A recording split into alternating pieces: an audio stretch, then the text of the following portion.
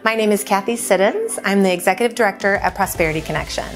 Prosperity Connection is an organization that provides financial education and empowerment through one on one coaching, classes, credit reviews, and credit fairs.